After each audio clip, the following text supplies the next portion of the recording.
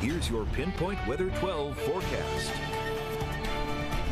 Well, extra clouds and cooler temperatures over the next couple of days, but fairly quiet. Next chance for wet weather really not until Thursday. Take a look outside, and the skies have been varying between partly and mostly cloudy. Looking at Providence right now, the streets are dry. Temperatures that are settling back into the uh, lower to middle 50s, though upper 50s in Providence right now. Taunton's at 59 and New Bedford 58. While it is cooler, Coventry, Smithfield, Glendale, Burrillville at around 55. Looking at 57 Narragansett.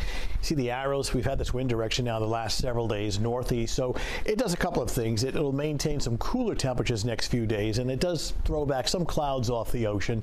So like today, tomorrow is mostly cloudy, but every now and then you get some random peeks of sun through the cloud cover. But a, a cool start to the week, uh, meeting you know, your afternoon temperatures next uh, several days. That'll be in the well, the middle to upper 60s. Showers for midweek, and this is specifically very late Wednesday night, but it's more than likely uh, into Thursday. In fact, the daylight hours of Wednesday will stay dry.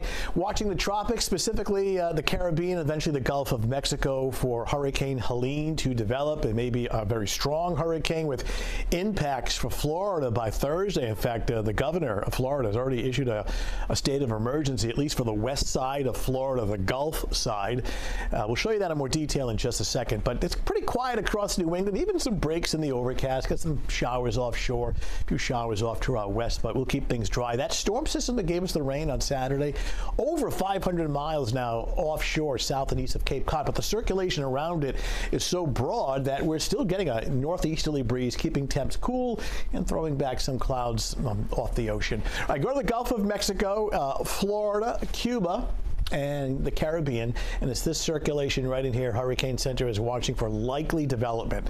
It's not a named storm yet, but it does become Tropical Storm Helene sometime tomorrow in the Western Caribbean as it moves into the very warm waters of the Gulf of Mexico, intensifying into a hurricane and perhaps a major hurricane and making landfall somewhere on this is called the Big Bend of Florida, right in here near Tallahassee. So really anywhere from the Panhandle to Tampa, Florida, all eyes on this storm as it makes its closest approach and landfall sometime on Thursday as a Category 2, uh, borderline Category 3 hurricane. We'll keep you updated. That remnant moisture, not seeing any indications of that coming our way, so we're going to keep Friday, Saturday, and Sunday dry and mild, but cooler to uh, cool tomorrow. Cool meaning mid and upper 60s.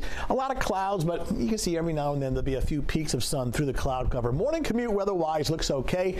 Good dry roads, good visibility. By 11 a.m. under mostly cloudy skies, about 64. And during the afternoon, mid to upper 60s on east and northeasterly breeze. About 3 o'clock in the afternoon, around 66. Bay forecast, mostly cloudy, northeast wind 10 to 15, gust to 20 knots. Visibility unlimited. If you've been noticing the water temperatures since July and August, slowly cooling down. Water temps now at about 65.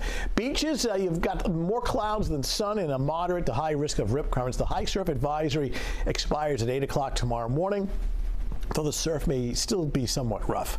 All right, seven day forecast. Again, went to the daylight hours of Wednesday. It looks dry. It's late Wednesday night, but more so Thursday.